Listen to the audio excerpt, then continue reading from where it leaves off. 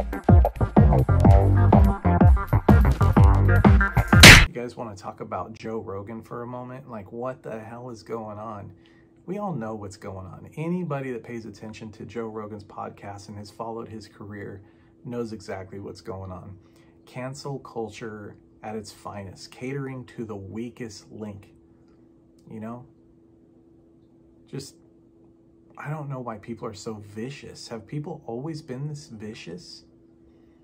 Like you, you have the spotlight on you and you say one thing that somebody doesn't like, they don't just say, hey, you shouldn't talk like that. That's not cool. And then a rational person will go, oh, I'm, I'm, I apologize if I offended you. It's not like that these days. These days, if you say something that somebody doesn't like, they come after you viciously. Well, who is they? They is the weak-minded buffoons that are vicious.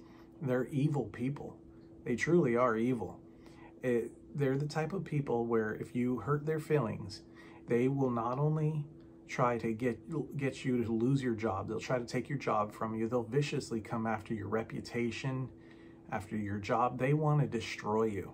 Now, who's the worst person, you know, in that scenario? Is it the person who spoke in a way that maybe they shouldn't have? Or is it the person that can't let it go so much that they're going to just viciously try to destroy your whole life? Who's worse? Seriously, think about it. Please don't be any of those people. If, if you're one of those people, I don't even want you on my channel. I only have 404 people on my channel, but if you're one of those people that thinks that you should viciously attack somebody if they if they speak out of turn like, there is nothing anybody should say to make you want to viciously remove them from their job and destroy their entire life. You know? Like, all you have to do is not log on. All you have to do is not listen. All you have to do is not follow. You don't have to destroy somebody's life. It's sick.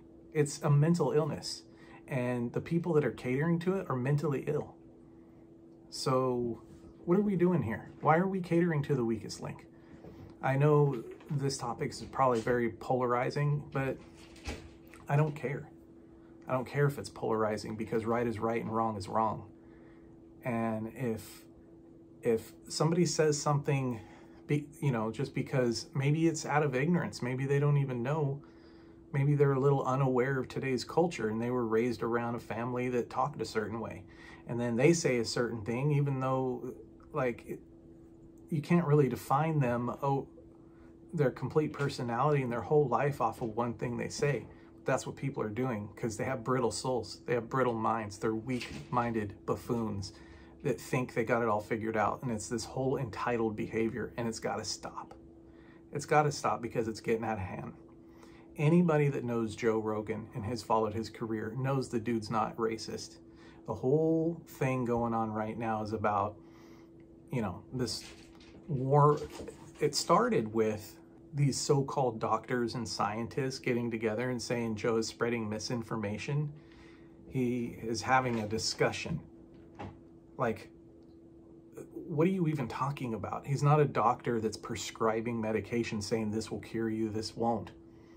He's a stand-up comedian, podcaster, um, combat sports commentator having a discussion in his studio with other people. Yeah, a lot of people watch him and he has power of influence. But again, these are just discussions. What, what, what are we in? Communist China? Like, we're not allowed to say, have discussions now. If you don't like it, if you don't agree with it, you're just going to cancel them and try to ruin their life. Is that, is that the world you live in? Because it's not the world I want to live in, but it's the world that's being created around us if we keep catering to this bullcrap.